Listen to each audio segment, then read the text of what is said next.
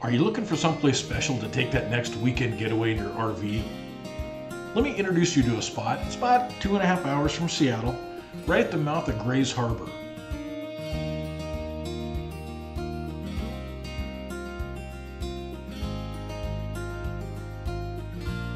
Grayland Beach State Park. With pull-through and back-in lots that'll accept up to 60-foot truck and trailer combinations, this place has something for just about everyone.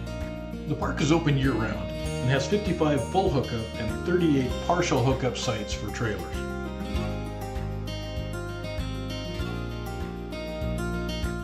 Check-in time is at 2.30, so when you arrive you have plenty of time to get your rig set up, have dinner, and then take any one of the five trails and hike out to the beach on the Pacific Ocean.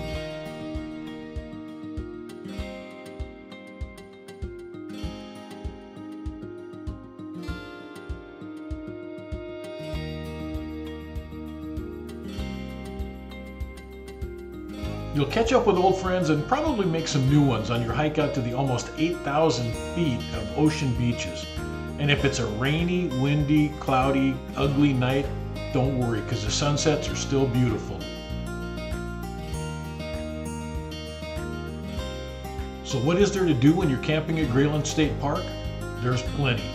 If you're not the one that's frying up the bacon, take a walk, check out the campground. That way, when you come back, the hash browns are done, bacon's ready for you, and you get a good breakfast to start the day.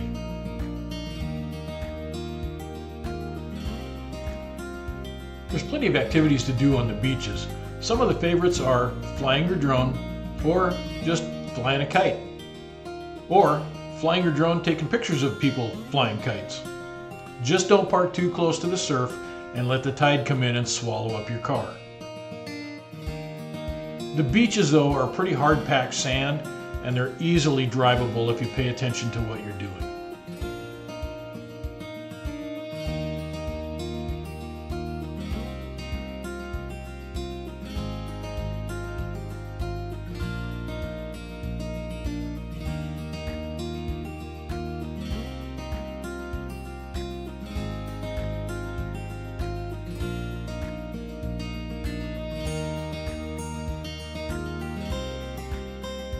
Just eight miles north of the campground is the town of Westport. Whether you're walking the beach looking for sea glass, agates, or sand dollars, there's plenty of room to spread out, enjoy the waves, do a little surf perch fishing, and spend the day. Framing the entrance to Grays Harbor is the city of Ocean Shores with its 10,000 foot jetty to the north, and to the south, the city of Westport with its 7,000 foot jetty.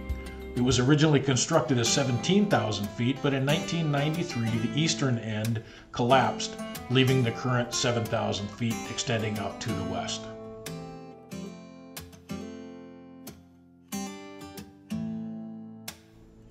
If you're interested in fishing, the jetty lies in Marine Area 2 and offers great fishing for lingcod, black rockfish, green ling, and the like.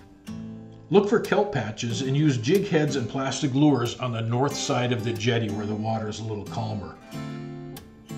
The best fishing will be at slack tide or with low tidal exchange, and you need to bring lots of extra tackle as getting hung up in the rocks is very, very common.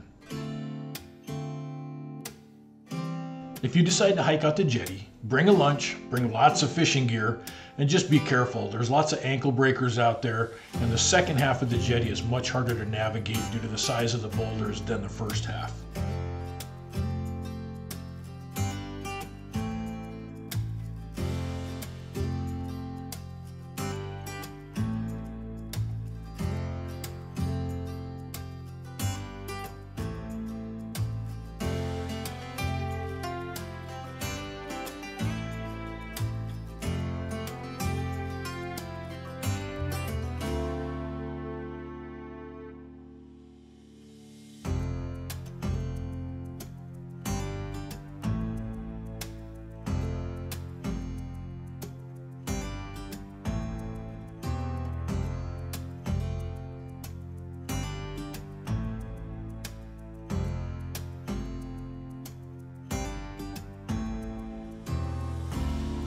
The south side of the jetty gets some pretty consistent surf conditions, which makes it one of the most popular places in Washington, Oregon, and British Columbia to surf.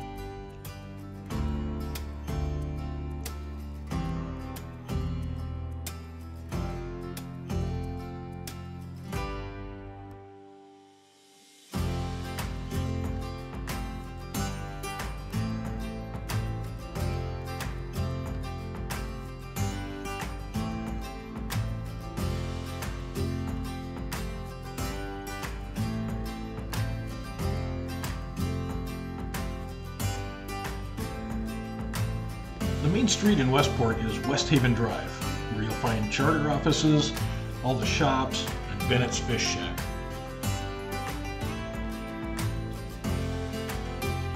The one place a lot of people overlook is the Junk Queens Tackle Box. You'll find cinnamon rolls, freeze-dried Skittles, if you can believe that, and some of the best homemade pies you've ever had. Try the burgundy.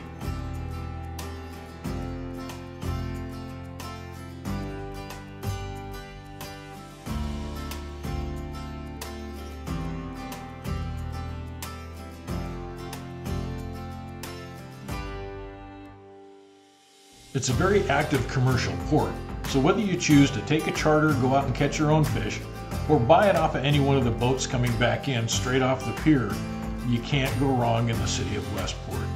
Whether it's a day trip or you come out and you camp, it's a great place to visit.